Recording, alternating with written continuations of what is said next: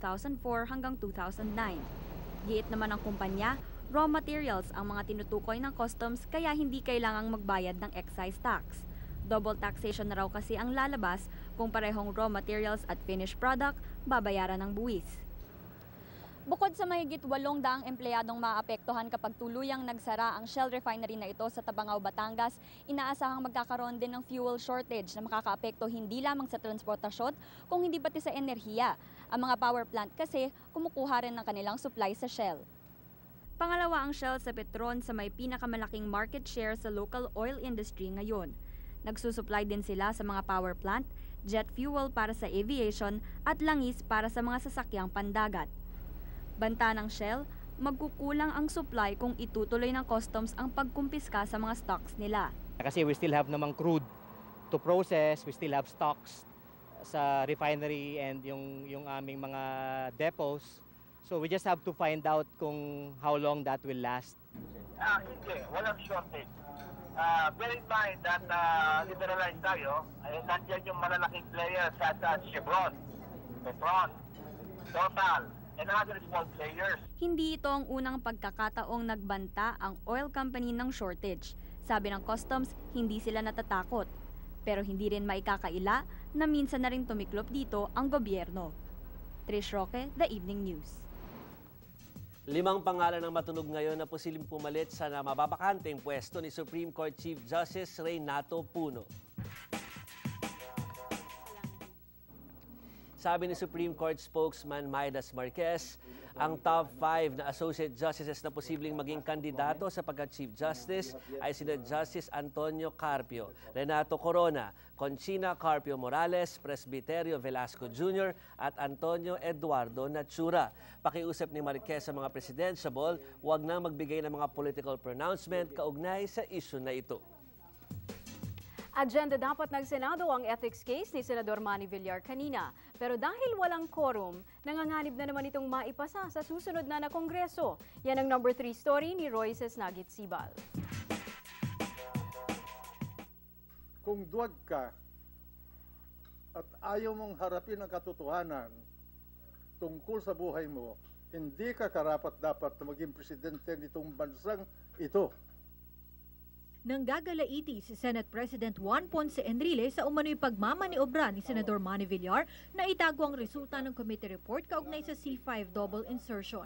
Tatalakayin dapat ang report sa plenaryo kanina pero hindi ito natuloy dahil walang quorum. Wala ni isang senador na taga-minorya ang nagpakita.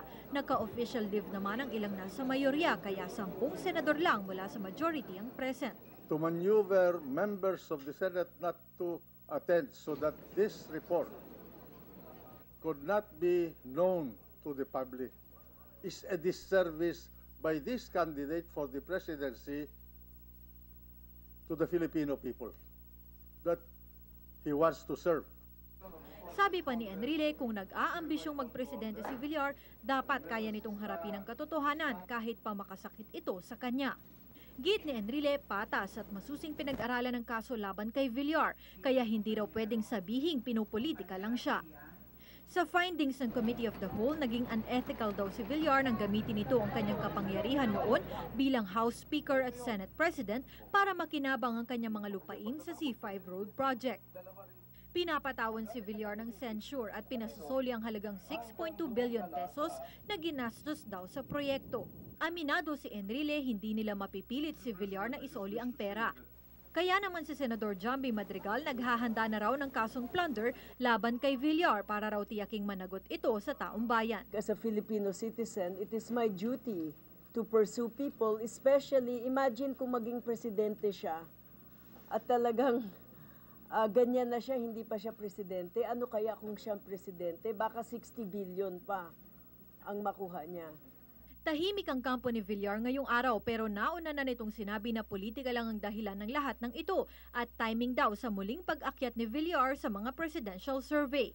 Naglabas na ng memorandum ang Senate Secretariat ngayong gabi na nag-oobliga sa lahat ng mga senador na dumalo sa huling pitong araw ng 14th Congress. Kung hindi raw kasi madedeliberate at maa-affirm ang report bago magtapos ang sesyon, diretso ito sa archive at hindi na maaaksyonan hanggang sa susunod na Kongreso.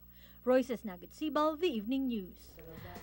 At dahil daw dyan sa ethics case laban kay Villar, meron na raw mga nagpaplano na ikudeta naman si Enrile. Pero si Manong Johnny ayaw ng pag-aksayahan ng panahon ng mga chismis. Masyado na raw siyang matanda para problemahin pa ang mga ito. Susunod, ang update sa kaso ni Jason Ivler. At ang latest mula sa Haiti, dalawang Pinoy ang natagpuan ng patay. Silipin din ang mga best and worst sa Golden Globe Awards kahapon.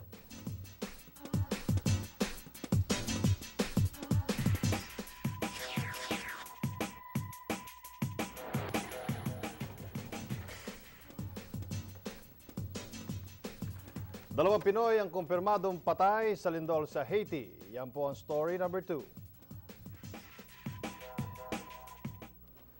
Anim na araw mula nang tumama ang magnitude 7 na lindol, nahukay na ang bangkay ni Petty Officer Perly Palangi.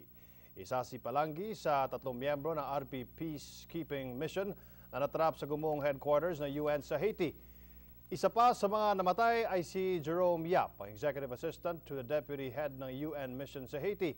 Nangakong AFP na bibigyan ng Heroes Welcome si Palangi pagdating sa Maynila. Makakatanggap din ang pamilya nito ng tulong mula sa UN. Sa kabila na masamang balita, umaasa ang AFP na buhay pa rin ang dalawa pang sundalong naipit sa gusali na sina Sergeant Janice Arosena at Sergeant Eustacio Bermudez. Pati na ang dalawang OFW na sina Grace Fabian at Geraldine Lalican na mga empleyado naman sa gumuhong Caribbean Supermarket.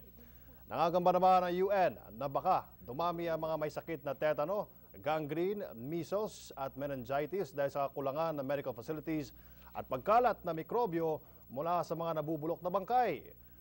Nagpadala na ng rescue teams ang iba't ibang bansa gaya ng Brazil, Spain, Britanya, China at Pilipinas para tumulong sa rescue operations doon. Binisita rin ni dating US President Bill Clinton ang ilang ospital sa Haiti para tingnan ang lagay ng mga biktima ng lindol. May update tayo tungkol sa kaso ni Jason Ivler, pero bago yan, recap muna tayo. Number 10, key government building sa Afghanistan sabay-sabay na pinasabog. Number 9, anim pang party list groups inaccredit ng COMELEC disqualification case ni ERAP sa Supreme Court ibinasura na with finality. Number 8, ano nga ba ang pwedeng gawin para makaiwas sa away trapiko? Number 7, Press Secretary Serge Remonde pumanaw na dahil sa atake sa puso. Number 6, mga may edad, inilalakad na isama na rin sa immunization program ng gobyerno.